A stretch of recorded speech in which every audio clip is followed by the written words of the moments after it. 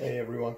So I just listened, um, not rereading, listening to The Way of the Wolf by Jordan Belfort um, of Wolf of the Wall Street fame on Audible. First thing I've ever listened to on Audible. I got it free with my phone.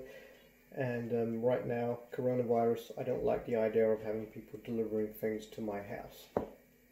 Because if they're delivering to lots of houses and they pick up the virus and it comes to my house, and I really don't think they should be out working anyway. But Audible, quite interesting. I was able to listen to it while I was doing other things, like cooking, um, or exercising, or walking, or um, which is nice. But I actually prefer reading a book. There's something about sitting and reading a book. But Audible does have its advantages because you can do it while you're doing other things. And also, I've read the book um, The Way of the Wolf three or four times now. Um, if you're if you've got your own business or, or you're in sales or, or you're in anything which requires you to make deals.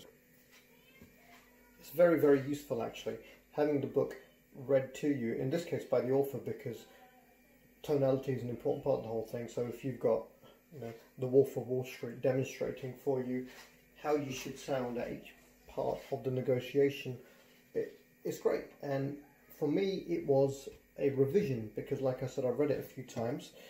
Um, and because it's broken into chapters, like an album will be broken into songs, I know now when I need to go back and remember or uh, rehash on a section where it is. So it's useful. Uh, the book overall is brilliant. I mean, there's only a few things I've read, uh, a few things I've heard or read, which immediately have uh, a positive impact on the results. So in, in negotiation, I'd say that book is Never Split the Difference, which I must have read four or five times. The stuff in there works in terms of actually getting to an agreement or uh, getting to a deal or closing the sale, I think the best thing is probably uh, Jordan Belfort's stuff.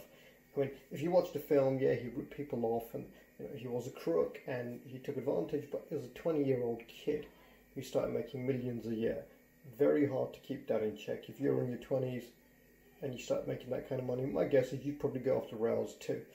Um, apparently, he's a reformed character now, etc., etc whatever, if it's good or bad, you know.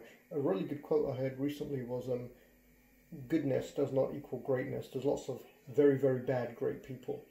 And there are some good great people. Um, great people being people who achieve great things.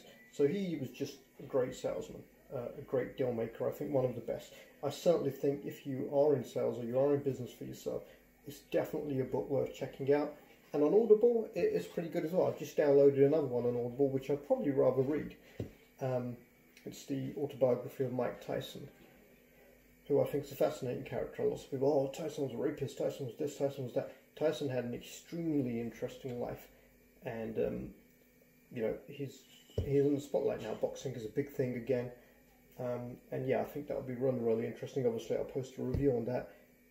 Is Audible good? Yeah, it's a different medium, and a different medium maybe helps you to learn things and it's nice, you know, if you're not the kind of person who can sit around and read a book, you're just not that type of person.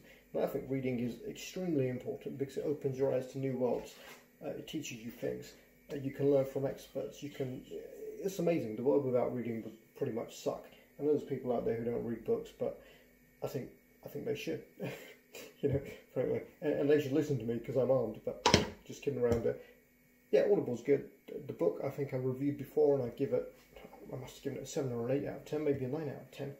Um, and it's nice to hear on Audible, and there's lots of extra resources. It's, it's like being taught rather than just reading passively, even though it's the same stuff, so I definitely recommend it. Hey, gotta go.